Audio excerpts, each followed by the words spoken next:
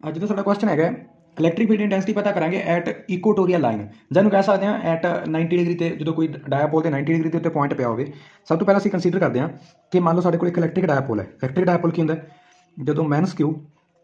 ਤੇ ਪਲੱਸ ਕਿਊ charge separated ਹੋਣ ਕਿੰਨੇ ਡਿਸਟੈਂਸ ਤੇ? ਸਮਾਲ ਡਿਸਟੈਂਸ ਤੇ ਇਹਨੂੰ ਕੀ ਬੋਲਦੇ ਹਾਂ ਅਸੀਂ? ਇਲੈਕਟ੍ਰਿਕ ਡਾਇਪੋਲ ਬੋਲਦੇ ਹਾਂ। ਇਹ ਪੁਆਇੰਟ ਇਹਨੂੰ A ਤੋਂ ਬੋਲਦੇ ਨੇ ਦੂਸਰੇ ਨੂੰ ਕੀ ਬੋਲਦੇ ਨੇ? B ਯਾਨੀ ਕਿ ਆਹ ਪੁਆਇੰਟ ਕਿੰਨਾ ਸਾਡੇ ਕੋਲ A ਹੈ, ਦੂਸਰਾ ਕਿੰਨਾ ਹੈਗਾ B ਆਹ ਕੀ ਇਹਦਾ? ਸੈਂਟਰ ਜਿਹਨੂੰ O ਪੁਆਇੰਟ ਲੈ ਕੇ ਚੱਲਦੇ ਹੈਗਾ। ਇਹਦੇ ਪਰਪੈਂਡੀਕੂਲਰ ਪਰਪੈਂਡੀਕੂਲਰ ਯਾਨੀ ਕਿ 90 ਡਿਗਰੀ ਦੇ ਉੱਤੇ ਕੀ ਪਿਆ ਹੈਗਾ ਸਾਡੇ ਕੋਲ ਇੱਕ ਪੁਆਇੰਟ ਯੂਨਿਟ ਪੋਜ਼ਿਟਿਵ ਚਾਰਜ ਪਿਆ ਹੈ ਕਿਸੇ ਪੁਆਇੰਟ P ਦੇ ਉੱਤੇ ਠੀਕ ਹੈ ਹੁਣ ਜੇ ਗੱਲ ਕਰੀਏ ਇਹ ਮਾਈਨਸ ਚਾਰਜ ਹੈ ਇਹ ਪਲੱਸ ਚਾਰਜ ਹੈ ਯਾਨੀ ਕਿ ਇਲੈਕਟ੍ਰਿਕ ਫੀਲਡ ਇੰਟੈਂਸਿਟੀ ਡਾਇਰੈਕਸ਼ਨ ਕਿੱਧਰ ਹੋਗੀ ਇਨਵਰਡ ਹੋਣੀ ਹੈਗੀ ਹੈ ਤੈਨੂੰ ਕਿੰਨਾ ਬੋਲ ਦਾਂਗੇ E1 ਬੋਲ ਦਾਂਗੇ ਦੇਖੋ ਆ ਲਾਈਨ ਬਣ ਜਾਣੀ ਹੈਗੀ ਜਿਹੜਾ ਆ ਡਿਸਟੈਂਸ ਹੈ ਇਹ ਹੁੰਦਾ ਹੈਗਾ ਪੁਆਇੰਟ ਤੋਂ ਲੈ ਕੇ ਇਹਦੇ ਸੈਂਟਰ ਤੱਕ ਦਾ ਡਿਸਟੈਂਸ r ਹੁੰਦਾ ਹੈ ਹਮੇਸ਼ਾ ਸਾਨੂੰ ਇਹ ਪਤਾ ਹੈਗਾ ਹੁਣ ਜੇ ਆਪਾਂ ਇੱਥੇ ਕੋਆਰਡੀਨੇਟ ਬਣਾਈਏ ਜੇ ਆ E1 ਹੈ ਜਿੱਧਰ ਥੀਟਾ ਹੈ ਮੰਨ ਲਓ ਇਸ ਪੁਆਇੰਟ ਦੇ ਉੱਤੇ ਕੀ ਹੈ ਥੀਟਾ ਹੈਗਾ ਸਾਡੇ ਕੋਲੇ ਜਿੱਧਰ ਥੀਟਾ ਹੁੰਦਾ ਉਧਰ ਕੀ ਹੁੰਦਾ cos ਥੀਟਾ ਤਾਂ ਇਹ ਕਿੰਨਾ ਬਣ ਗਿਆ E1 cos ਥੀਟਾ ਇਸ ਪੁਆਇੰਟ ਤੇ E1 cos ਥੀਟਾ ਬਣ ਗਿਆ ਤਾਂ ਦੂਸਰੀ ਸਾਈਡ ਕਿੰਨਾ ਬਣ ਜਾਣਾ ਆ ਪੁਆਇੰਟ ਕਿੰਨਾ ਬਣ ਜਾਣਾ ਸਾਡੇ ਕੋਲੇ E1 sin ਥੀਟਾ ਤਾਂ ਇਹਨੂੰ ਕਿੰਨਾ ਲਿਖੀਏ ਅਸੀਂ E1 sin ਥੀਟਾ ਹੋ ਗਿਆ ਆਹ ਪੁਆਇੰਟ ਕਿੰਨਾ ਹੋ ਗਿਆ ਸਾਡੇ ਕੋਲ E1 sin ਥੀਟਾ ਹੁਣ ਸਿਮਿਲਰਲੀ ਅਸੀਂ B ਪੁਆਇੰਟ ਕਰਕੇ ਇੱਥੇ ਇਲੈਕਟ੍ਰਿਕ ਫੀਲਡ ਇੰਟੈਂਸਿਟੀ ਪਤਾ ਕਰਾਂਗੇ ਹੁਣ ਇਹ ਵੀ ਪੋਜ਼ਿਟਿਵ ਹੈ ਇਹ ਵੀ ਪੋਜ਼ਿਟਿਵ ਹੈ ਤਾਂ ਪੋਜ਼ਿਟਿਵ ਪੋਜ਼ਿਟਿਵ ਕਰਕੇ ਇਲੈਕਟ੍ਰਿਕ ਫੀਲਡ ਇੰਟੈਂਸਿਟੀ ਡਾਇਰੈਕਸ਼ਨ ਕਿੱਧਰ ਹੋ ਜਾਣੀ ਹੈ ਆਊਟਵਰਡ ਯਾਨੀ ਕਿ ਕਿੱਧਰ ਹੋ ਜਾਣੀ ਹੈ ਇਸ ਸਾਈਡ ਤੇ ਹੋ ਜਾਣੀ ਹੈ ਇਹਨੂੰ ਕੀ ਬੋਲ ਦਾਂਗੇ ਅਸੀਂ E2 ਬੋਲ ਦਾਂਗੇ ਹੁਣ ਜੇ ਇਹਦੇ ਲਈ ਕੋਆਰਡੀਨੇਟ ਦੇਖੀਏ ਅਸੀਂ ਤਾਂ ਆਊਟਵਰਡ ਹੋ ਗਈ ਡਾਇਰੈਕਸ਼ਨ ਤਾਂ ਜੇ ਇੱਥੇ ਕੋਆਰਡੀਨੇਟ ਬਣਾਈਏ ਅਸੀਂ ਆ ਹੋ ਗਿਆ ਥੀਟਾ ਸਾਡੇ ਕੋਲੇ ਜਿੱਧਰ ਥੀਟਾ ਹੈ ਉਧਰ ਕੀ ਹੋ ਜਾਣਾ cos ਥੀਟਾ ਯਾਨੀ ਕਿ ਇਹ ਕਿੰਨਾ ਬਣ ਗਿਆ E2 cos ਥੀਟਾ ਆਹ ਪੁਆਇੰਟ ਕਿੰਨਾ ਬਣ ਜਾਣਾ ਹੈ E2 sin ਥੀਟਾ ਆਹ ਲਾਈਨ ਤੇ ਹੋ ਗਿਆ E2 sin ਥੀਟਾ ਆਹ ਲਾਈਨ ਤੇ ਕਿੰਨਾ ਹੋ ਗਿਆ ਸਾਡੇ ਕੋਲੇ E1 sin ਥੀਟਾ ਇਹ ਡਾਇਗਰਾਮ ਹੈਗਾ ਸਾਡੇ ਕੋਲੇ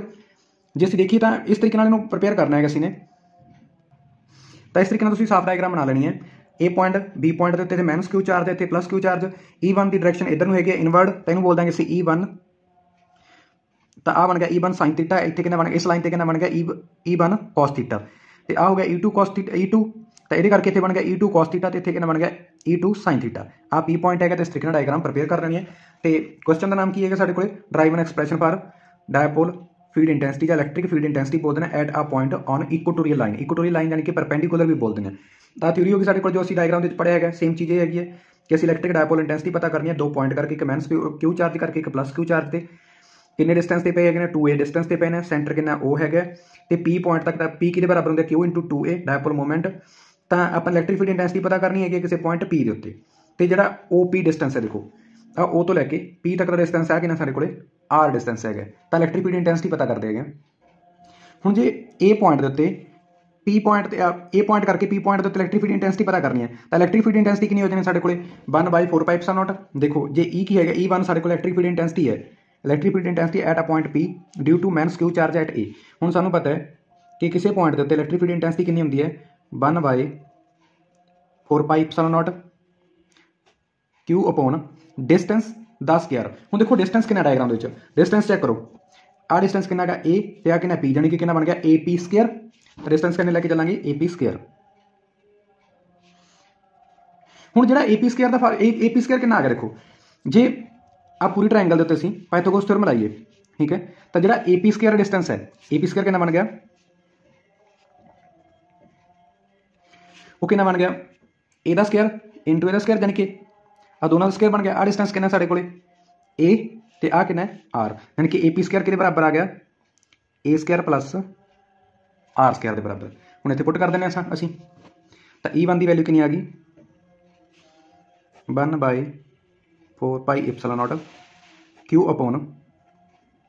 a square plus r square ਹੁਣ ਇਹ ਚੀਜ਼ ਯਾਦ ਰੱਖਿਓ ਕਿ ਇੱਥੇ ਸਕੁਅਰ ਨਹੀਂ ਆਉਂਦਾ ਹੈਗਾ ਜਦੋਂ ਅਸੀਂ ਐਕਸੀਅਲ ਲਾਈਨ ਦਾ ਕੁਐਸਚਨ ਕਰਦੇ ਹਾਂ, ਉਦੋਂ ਇੱਥੇ ਸਕੇਅਰ ਹੁੰਦਾ ਹੈ। ਹੁਣ ਇੱਥੇ ਸਕੁਅਰ ਦੀ ਵੈਲਿਊ ਸੀ, ਪੂਰੀ ਪੂਰੇ ਸਕੁਅਰ ਦੀ ਵੈਲਿਊ ਮਿਲ ਗਈ ਸਾਨੂੰ। A square plus r square ਤਾਂ ਕਰਕੇ ਇੱਥੇ ਸਕੁਅਰ ਨਹੀਂ ਆਉਂਦਾ, ਇਹ ਚੀਜ਼ ਯਾਦ ਰੱਖਣੀ ਹੈ ਇਹਨੂੰ ਇਕੁਏਸ਼ਨ ਨੰਬਰ 2 ਦੇ ਦਿੰਦੇ ਹਾਂ। ਹੁਣ ਸਿਮਿਲਰਲੀ ਅਸੀਂ e2 ਫਾਈਂਡ ਕਰਾਂਗੇ। E2 ਦਾ ਮਤਲਬ ਕੀ ਹੈ? B ਪੁਆਇੰਟ ਕਰਕੇ p ਦੇ ਉੱਤੇ ਇਲੈਕਟ੍ਰਿਕ ਫੀਲਡ ਇੰਟੈਂਸਿਟੀ ਕਿੰਨੀ ਆ? ਉਹ ਹੈਗੀ e2 e2 ਫਾਈਂਡ ਕਰਨੀ ਹੈ, ਦੇਖੋ। E2 ਫਾਈਂਡ ਕਰਾਂਗੇ ਤਾਂ e2 ਦੇ ਵਿੱਚ ਕਿੰਨਾ ਆ ਜਾਣਾ ਸਿਮਿਲਰਲੀ e2 ਤਾਂ ਸਿਮਿਲਰਲੀ e2 ਕੀ ਹੈ? Electric field intensity at a point p due to plus q charge ਜਿਹੜਾ ਕਿਤੇ ਪਿਆ ਹੈਗਾ, b ਪੁਆਇੰਟ ਤੇ ਪਿਆ ਹੈਗਾ। ਹੁਣ e2 ਕਿੰਨੀ ਆ ਗਈ ਸਿਮਿਲਰਲੀ ਲਿਖਾਂਗੇ ਅਸੀਂ 1 by 4 pi epsilon naught q upon q upon ਜਿਹੜਾ ਡਿਸਟੈਂਸ ਹੈ ਡਿਸਟੈਂਸ ਕਿੰਨਾ ਹੋਗਾ ਸਾਡੇ ਕੋਲੇ bp ਸਕੁਅਰ ਦੇਖੋ ਡਿਸਟੈਂਸ ਦੇਖੋ b ਪੁਆਇੰਟ ਤੋਂ ਲੈ ਕੇ p ਪੁਆਇੰਟ ਤੱਕ ਦਾ ਡਿਸਟੈਂਸ ਕਿੰਨਾ ਹੋ ਗਿਆ ਆ ਡਿਸਟੈਂਸ ਕਿੰਨਾ ਹੋ ਗਿਆ bp ਸਕੁਅਰ ਠੀਕ ਹੈ ਸੇਮ ਸਿਮਿਲਰਲੀ ਕਰਾਂਗੇ ਅਸੀਂ ਬੀਪੀ ਸਕੁਅਰ ਦੀ ਵੈਲਿਊ ਇੱਥੇ ਕਿੰਨਾ ਆ ਗਿਆ ਸਾਡੇ ਕੋਲੇ ਬੀਪੀ ਸਕੁਅਰ ਹੁਣ ਬੀਪੀ ਸਕੁਅਰ ਦੀ ਵੈਲਿਊ ਦੇਖੀਏ ਸਿਮਿਲਰਲੀ ਪੈਥਾਗੋਰਸ ਥਿਉਰਮ ਲਾਵਾਂਗੇ ਇਹਦੇ ਉੱਤੇ ਦੇਖੋ ਬੀਪੀ ਸਕੁਅਰ ਦੀ ਵੈਲਿਊ ਮੈਨੂੰ ਆ ਸਕੁਅਰ ਚਾਹੀਦਾ ਹੈਗਾ ਪੈਥਾਗੋਰਸ ਥਿਉਰਮ ਲਾਂਗੇ ਉਹ ਕੀ ਕਹਿੰਦੇ ਇਹਦਾ ਸਕੁਅਰ ਪਲੱਸ ਇਹਦਾ ਸਕੁਅਰ इन्होंने दोनों स्केयर कि बराबर आ गया? स्केयर के बराबर। तो कि आ गया? आ हो गया ए स्केयर आ कि हो गया? R square B P square की वैल्यू कि आ गई? ए टू बराबर one by four pi epsilon naught Q upon A square plus R square इतने भी स्केयर नहीं आता है यह होगी साढ़े को थ्री हूँ देखो जी टू तो थ्री नंबर क्वेश्चन है, दोनों कि सिमिलर है दोनों सिमिलर है हूँ जो अभी देखिए, क्योंकि देखो ई वन की वैल्यू ਇਕੁਏਸ਼ਨ ਨੰਬਰ 2 ਤੋਂ ਤੇ e2 ਦੀ ਵੈਲਿਊ ਇਕੁਏਸ਼ਨ ਨੰਬਰ 3 ਤੋਂ ਜਿਹੜੀਆਂ 2 ਤੇ 3 ਤੋਂ ਇਕੁਏਸ਼ਨ ਨੰਬਰ ਮਿਲੀਆਂ ਸਾਨੂੰ e1 ਤੇ e2 ਕੀ ਆ ਗਿਆ ਸਾਡੇ ਕੋਲ ਇਕੁਅਲ ਆ ਗਈਆਂ ਜੇ e1 ਤੇ e2 ਇਕੁਅਲ ਨੇ ਤਾਂ ਜਿਹੜਾ e1 sin θ ਹੈ ਤੇ e2 sin θ ਦੋਨਾਂ ਨੇ ਇੱਕ ਦੂਸਰੇ ਦੇ ਫੈਕਟਰ ਨੂੰ ਕੀ ਕਰ ਦੇਣਾ ਕੈਨਸਲ ਆਊਟ ਕਰ ਦੇਣਾ ਹੈਗਾ ਦੇਖੋ ਆਹ ਲਾਈਨ ਦੇ ਉੱਤੇ ਹੈਗਾ ਸਾਡੇ ਕੋਲੇ e1 sin θ ਇਸ ਲਾਈਨ ਦੇ ਉੱਤੇ ਕਿੰਨਾ ਹੈਗਾ ਸਾਡੇ ਕੋਲੇ e2 sin θ ਦੋਨੋਂ ਇਕੁਅਲ ਵੀ ਨੇ ਤੇ ਦੋਨੋਂ ਆਪੋਜ਼ਿਟ ਨੇ ਇਹਦਾ ਇਹ ਨੀਚੇ ਨੂੰ ਇੱਕ ਇਧਰ ਨੂੰ ਉੱਪਰ ਨੂੰ ਜਾਂਦਾ ਹੈਗਾ ਤਾਂ ਦੋਨੇ ਇਕੁਅਲ ਤੇ ਆਪੋਜ਼ਿਟ ਹੋਣ ਕਰਕੇ ਇੱਕ ਦੂਸਰੇ ਨੂੰ ਕੀ ਕਰ ਦੇਣਾ ਕੈਨਸਲ ਆਊਟ ਕਰ ਦੇਣਾ ਤਾਂ ਜਿਹੜੀ ਨੈਟ ਇਲੈਕਟ੍ਰਿਕ ਫੀਲਡ ਇੰਟੈਂਸਿਟੀ ਹੈ ਤਾਂ ਉਹਦੇ ਕਰਕੇ ਹੋਣੀ ਹੈ e1 cos θ plus e2 cos θ ਕਿਉਂਕਿ ਦੋਨੋਂ ਸੇਮ ਲਾਈਨ ਤੇ ਤਾਂ ਇਹ ਐਡ ਹੋਣਗੇ ਸਾਈਨ ਦਾ ਇਫੈਕਟ ਇੱਕ ਦੂਸਰੇ ਨੂੰ ਕੈਨਸਲ ਆਊਟ ਕਰੀ ਜਾ ਰਿਹਾ ਹੈਗਾ ਇਸ ਲਈ ਜਿਹੜੀ ਟੋਟਲ e ਹੈ ਉਹ ਕਿਹਦੇ ਬਰਾਬਰ ਆ ਗਈ e1 cos θ plus e2 cos θ ਹੁਣ ਸਾਨੂੰ ਪਤਾ ਹੈ ਕਿ e1 ਤੇ e2 ਕੀ ਨੇ ਬਰਾਬਰ ਨੇ ਤਾਂ ਇੱਥੇ ਇਹਨੂੰ e2 ਨੂੰ e1 ਲਿਖ ਦਿੰਦੇ ਅਸੀਂ ਤਾਂ ਟੋਟਲ ਇਲੈਕਟ੍ਰਿਕ ਫੀਲਡ ਇੰਟੈਂਸਿਟੀ ਕਿੰਨੀ ਆ ਗਈ e1 cos θ plus e1 cos θ ਕਿਉਂਕਿ ਦੋਨੋਂ ਬਰਾਬਰ ਨੇ ਤਾਂ e2 ਨੂੰ e1 ਲਿਖਿਆ ਜਾ ਸਕਦਾ ਤਾਂ ਟੋਟਲ e ਕਿੰਨੀ ਆ ਗਈ ਸਾਡੇ ਕੋਲੇ 2 e1 cos θ ਇਹਨੂੰ ਇਕੁਏਸ਼ਨ ਨੰਬਰ ਦੇ ਦਿਓ 4 ਹੁਣ ਅਸੀਂ ਇਹਦੇ ਵਿੱਚ ਵੈਲਿਊ ਪੁੱਟ ਕਰ ਦਿੰਦੇ ਆ e1 ਦੀ e1 ਦੀ ਵੈਲਿਊ ਕਿੰਨੀ ਦੇਖੋ ई वन की वैल्यू कितने one by four pi percent Q upon A square plus R square इतनी वैल्यू पुट कर देने from equation number two and four from equation two and four तो E की value कि आ गई? आ तो सर को टू है